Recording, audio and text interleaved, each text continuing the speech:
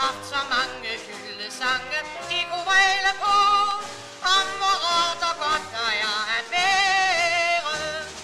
Men jeg bor et sted, som alle digterne har glemt, og nu skal fejlen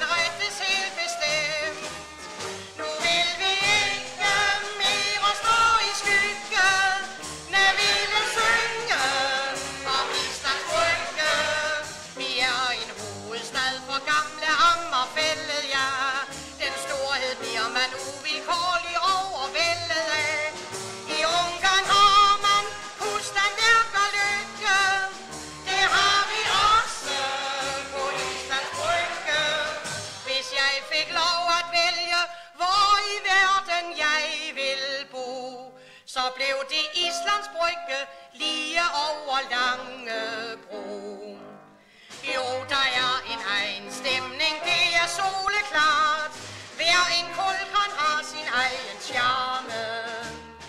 Hvad er H.C. Andersens berømte boulevard?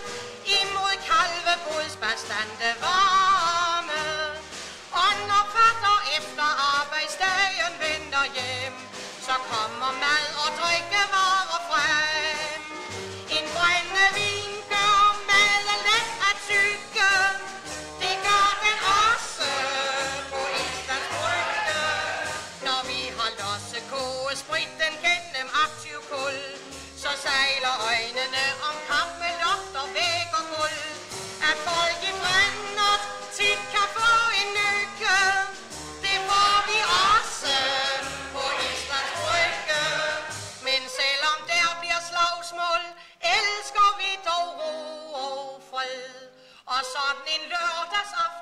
der går solen aldrig ned. Bryggens unge mødes i café Den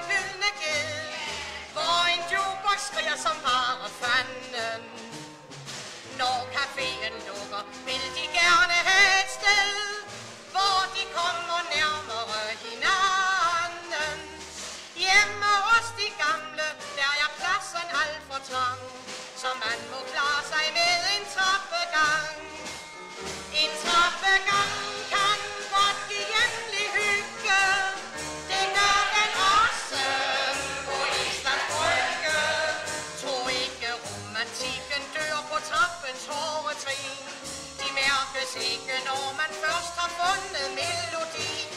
Rundt om i verden, der gør pigerne lykke, det gør vi også på Islands Brygge. For hvem vil påstå, at en pige, hun er unormal, fordi hun giver ham lov imellem stuen og første